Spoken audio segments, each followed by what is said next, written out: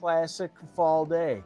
Uh, we've been hot, the lake is, water is warm, and then we get our first 50 or 60 degree high temperature day. That's the kind of day that's going to make a water spout. And if you have the time and you have the desire, it's a great thing to watch. They're very interesting.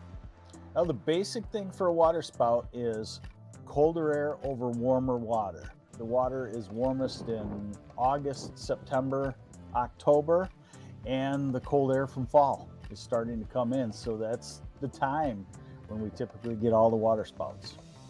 The air near the water is a lot warmer because the water is warm.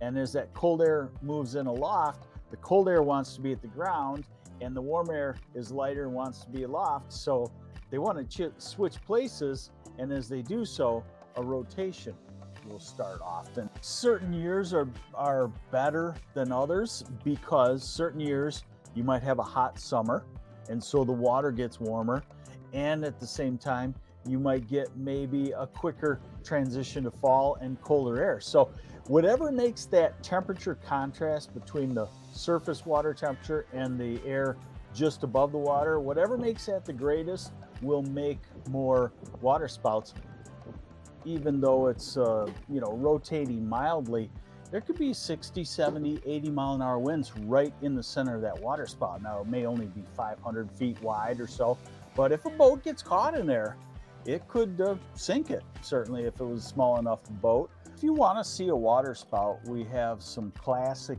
areas in michigan. It's a great thing to view a great way to view mother nature's power